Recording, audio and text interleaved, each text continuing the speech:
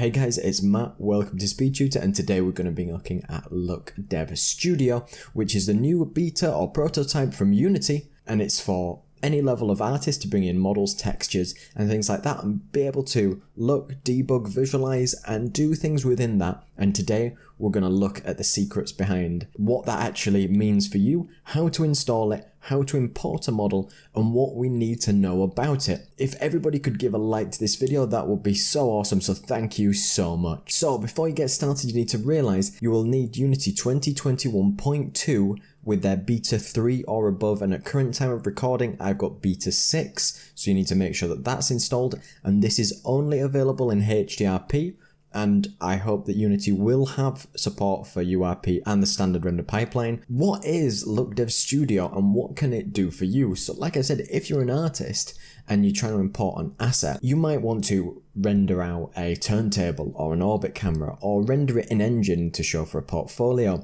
or to be able to author or look at your textures on your model within Unity without trying to sort of squeeze it down in the bottom and look at it in the inspector and does it look okay? It's a way to look at your assets full screen in the inspector soloed out with different environments so you can debug, visualize. So I'll put a link in the description for you to check out the thread which will show you how to install, import and do everything like that but I'll show you this in this video. So how to get started, you need to click on this link about halfway down the page to directly download the zip from their GitHub. Once that you click that, it will download 600 megabytes worth of content. And then it will download a zipped folder. And we need to make sure we go to Unity Hub, go to our installs and make sure that we've got 2021.2.0 and then beta 3 or above. You can go to add and you can go to the bottom there and it should be the pre-release beta whatever's available right now. Then what you can do is you can click add with the add button, find where you've extracted that look dev project and then it will appear in your projects panels like here. Make sure that you choose the new Unity version or the beta version and click on it to launch it. Now I did have an issue with launching it the first time. I made sure that I restarted my computer and then Avast did actually update and, and complained about malware, but I just pressed allow and then it opened Look Dev nice and easy. Unity do say depending on the speed of your computer, you may need to wait up to 15 minutes to open the project itself, but it was only about five minutes for me or maybe less. And I'll put a little GIF on the screen for you to be able to pause and look at the different things. So we've got our hierarchy up in this top corner. We've got the inspector down the left here.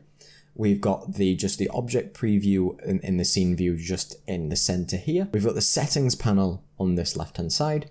We've got the quick controls up here, which can change our presets for the HDRI map that we may use. And then we've got the assets tab, and it may take some time for these assets to appear. It works in pretty much the same way as you would expect, apart from the settings, you can use, the first one is an orbit camera, so you can orbit around your actual character or object, or you can have a turntable, which is similar where your character will move around, similar to that. You can actually be able to enable fog, which will fog out your background. You can enable the HDR sky if you want to be able to see it. You can show the ground. I think it can make things look slightly more realistic. And you can actually make sure that you move the object to the ground if you want your character or your object to be sat there. And you can also save the camera position and load it, and you can also adjust the rotation of the light down here or use shift alt and move to do that. You can press this little camera button and it will create a screenshot which will appear in your in your project folder in the screenshots folder. On this side we have all our assets which are filtered by material, texture and model and what we need to do is say I want a different object, I'll just drag this refrigerator in. She's just been eaten by a refrigerator.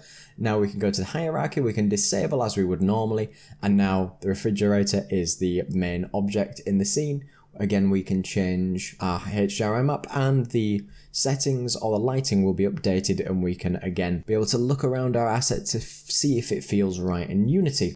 And we could select our material and be able to do adjustments as we would directly in Unity to be able to affect how it may look. And the next thing you're going to say to me is, Matt, how do I actually import something in? And I go, well, isn't that a magical question? But no. Uh, what I'm going to show you is this is in Substance Painter and people can skip on to actually importing their asset if you've got it set up for HDRP. So I'm in Substance Painter and everybody loves a pizza box, or pizzas in general are beautiful, aren't they? So anyway, you can go to, if you're in Substance Painter, File, Export Textures, and if you're in a modern version of Substance Painter, you can choose where your item is going to be saved. I'll make a new folder called pizza and I'm going to select my output template as the, the Unity HD render pipeline as metallic standard.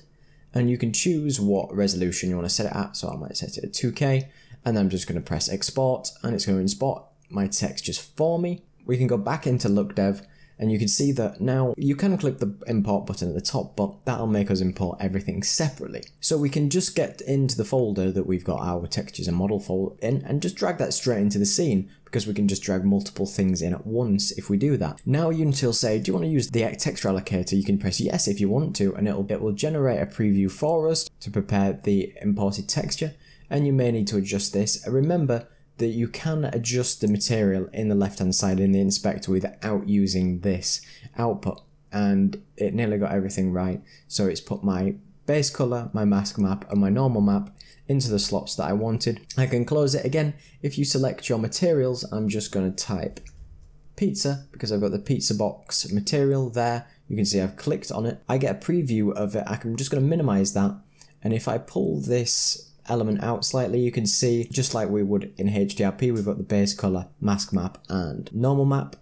And we can go to all, and I can, because I've filtered by pizza, and I can just drag my pizza box into my scene, but it was already there because we dragged it in, so I can get rid of my duplicate. And now we've got my beautiful pizza box in Unity and we can do all the things that we did before. So you can rotate where the lighting should be. And if we want our dynamic, beautiful look of our pizza box in a different environment, we can do that and we can check it out within Unity and make sure that, yeah, I think it looks good in all the different lighting scenarios. We may want a, a, little screenshot to go with it. So if we put it in the light, we can just press the little screenshot and it'll go to our game tab but we can go to our back to our scene tab and then what we can do is we can right click and if we right click it and show in Explorer, if we go into Look Dev and we go to screenshots, you can see that now my pizza box is there in all its glory in however way you wanted it to be rendered. So this is a way that you can take a look at all your different assets that you have. You can apply your turntable if you want to get a little recording of this spinning around, whatever it may be. Remember, you still have all the options to manipulate it with the rotation. So we can just, you know, we could put a really funky style on it and have it like so.